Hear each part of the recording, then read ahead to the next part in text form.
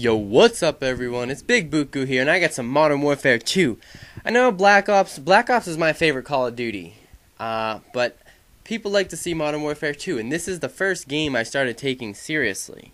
Uh, and yes, I'm using the heartbeat, the baby monitor, whatever you fuckers like to call it. But the thing is, Ninja is the third tier perk that people should be using, in my opinion. And for the fuckers that use the commando, this is just punishment to them. Because, you know, they're going to show up on my heartbeat and they are going to be exposed, which is great because I'll find them easier. But anyways, um, I end up going like 17 and 1. I mean, I, I do a lot of hiding out, but I mean, I don't know how to fucking I lost the the fucking the strategy of playing this game since Black Ops came out. I fucking had this game down to a science. Fucking Black Ops came out, and it's like, no, we're gonna change the whole way you play shooters for the worse because that fucking ghost perk. That's what I like about this game. You either you, you you, gotta choose, you gotta choose stopping power or cold blooded, and uh, people want stopping power, so UAVs are fucking amazing in this game. But anyways, I had no idea what the fuck to do for a commentary. I posted a bulletin about two minutes ago on my YouTube and I was like, "Yo, send me a thing for a commentary," and no one. I'm gonna stand up as I do this. Uh, no one sent me a message because I don't have that many subscribers or friends or people that care enough. so I figured, you know, I was thinking, I was like walking around my room. I was like, well, what the fuck can I do? And on the back of the wall, I have a, a Dillinger Escape Plan poster that's signed by the members of the band, and I have an MGMT little poster too that came with an album. I was like, you know what? let's do something musical. Music's a big part of my life. I say that in a couple of my videos. I'm bringing out the the music Tuesdays for you guys, showing you guys a little bit more than just Call of Duty gameplay, which I think I do need to start breaking the mold more. You know, people aren't gonna get big off Call of Duty. Most people aren't even gonna get big. I might as well have a fucking fun time enjoying doing this thing. So let's do it. Topic. Ba-bow. You can read it from the title. I know I say that in a bunch of the videos, but I mean, people are like, well, the topic for today is, well, you can read it in the fucking title. That's why you clicked on the video anyway. Uh, concerts, musical concerts. You know, music is my passion, probably more than video games. Like, I don't know. If I was, if I had a like a an actual like working band, I would. And I, if I had to choose video games or music, I'd choose music without a doubt. Uh, not because there's more money to be made off it, just because I enjoy it more. And uh, so, what are the concerts? What you guys remember your first concert? Um, I definitely do. It's kind of my first concert. I don't really count it, but um, Juliana Hatfield. And you guys are asking yourself, who the fuck is that? Like, what is that shit, man? Uh, my dad's in love with it. My dad really digs female singers, and I do as well. Uh, I like uh, I got a crush on Taylor Swift. I love that chick. But he really likes this girl named Juliana Hatfield, and I listened to her, and eh, whatever. I my I kind of grew up. That was one of the few, you know, CDs my dad listened to. And uh, my second concert, I'll I'll get to that, but whatever. I'll get I'll just get to it.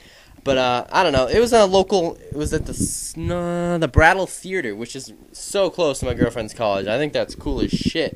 That uh, I was so close to like where I'd be spending a lot of my time because I go and visit her once a week, but uh, she's back for the summer now, so that's fucking great. But uh, that concert it was cool, small.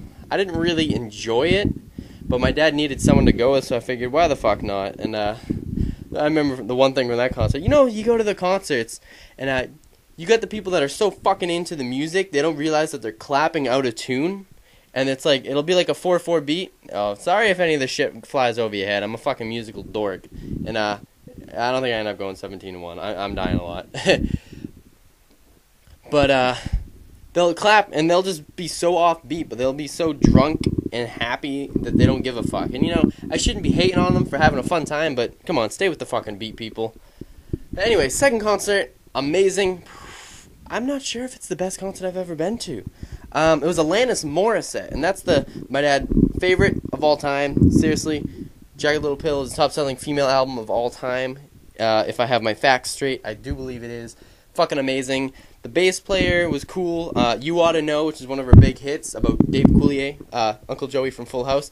The bass line for that song is phenomenal because Flea actually did. Uh, I know he did that song on the album, but he also did a uh, a bunch of the songs in, uh, on the album, if I if I recall right. But uh, anytime you get Flea on a track, you know it's gonna be jumping. So lights, the light show was good for that too. It was really good. You know, she took out her acoustic as well and did some slower songs, which was nice. And then uh, I don't know, I really enjoyed that. And I actually got to meet her in a Newbury Comics meet and greet thing. You know, it was pretty cool. We we got in and my dad's like, "Yo, let's get to the back of the room so we'll be the first to sign." Because you know, the closer you are, everyone shifts and she walks to the back, and everyone's like, "Well, get back." And uh, my dad, I'm like, Dad, you gotta go first. I was actually first in line. I ended up hitting that, but I'm like, Dad, you gotta go. And he started tearing up. He's a little pusser about that, but you know, meeting your favorite favorite musician, that's a that's a cool thing. So after that, let's see what other concerts I can remember. I remember I took my girlfriend to John Mayer. That was cool. My buddy was actually at the same concert. He was uh, a, a level below us. That was cool. Michael Franti and Spearhead opened for them, and uh, they have a couple songs that are pretty dope. A couple uh, uh, I forget what the song's called, but you I don't know. I'm sure you've heard it before. And he's got some new singles out now. That was sick. John Mayer, he's actually not just like a chick musician.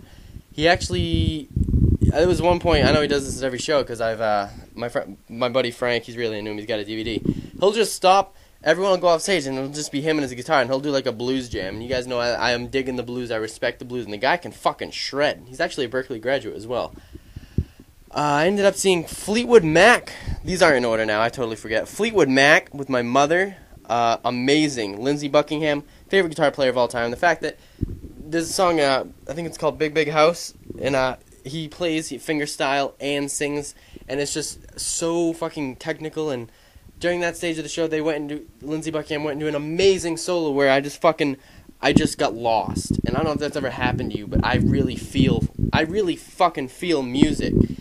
And I, I was just like closed my eyes and I was like, oh my god, this is euphoria. This is what it fucking means to feel the music. And it was just so fucking awesome. I was like, fuck it, this guy's my favorite guitar player of all time.